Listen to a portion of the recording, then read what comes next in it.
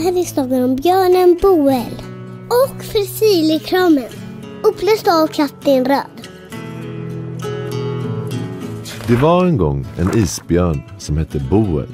Hon älskade is och snö och när det var riktigt, riktigt kallt. Boel älskade att bo långt uppe i norr bland sälar, snö och stora isflak. Ibland tänkte Boel, undrar om det finns någon i hela världen som gillar snö och is lika mycket som jag. Det trodde hon inte.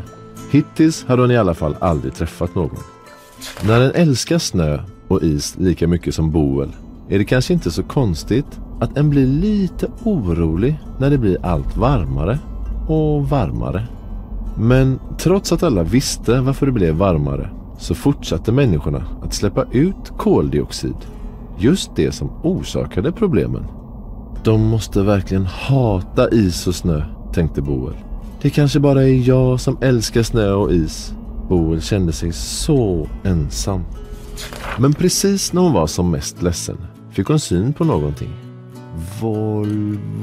Volvo, de verkar gilla snö och is.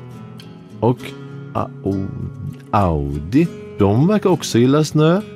Och SAS, SAS, ja, de till och med drömmer om is. I Boels lurviga björnhuvud tändes en idé. Kanske kan annonsörerna hjälpa mig att rädda isen. De isälskande annonsörerna sitter alla i den stora staden så det är dit jag måste gå, sa Boel till sina vänner. Hon tog sitt pick och pack, vinkade adjö och gick för att prata med dem som älskar is. På vägen mot staden passerade hon stora skogar som huggits ner. De skogar som fanns kvar var underligt stilla och träden stod i spöklika rader. De flesta djur var borta och det var alldeles tyst. Vem ska rädda skogen? tänkte Boel. Jag ska ju rädda isen. Hon tittade återigen ner i sin mobiltelefon och där fanns svaret.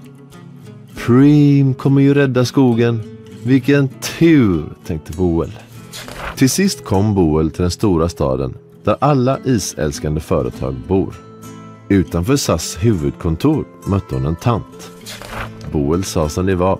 Jag är en isbjörn och platsen där jag bor smälter bort. Jag letar efter någon som älskar is lika mycket som jag gör och som kan hjälpa mig att rädda isen. Älskar du också is? Och den snälla tanten från SAS svarade Ja men visst, vi älskar isen.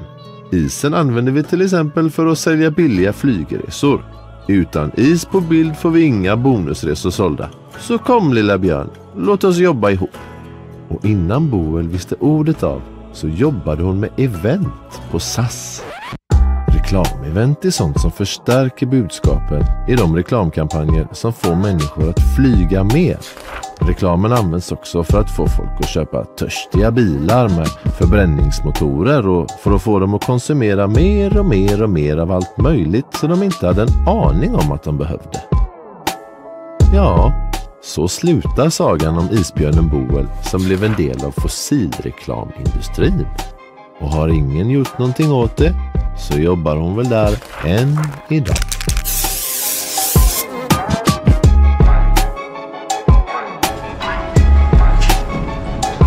Shell wat reclame maakt voor CO2-neutraal tanken is gewoon klipklare onzin en dat moet gewoon stoppen.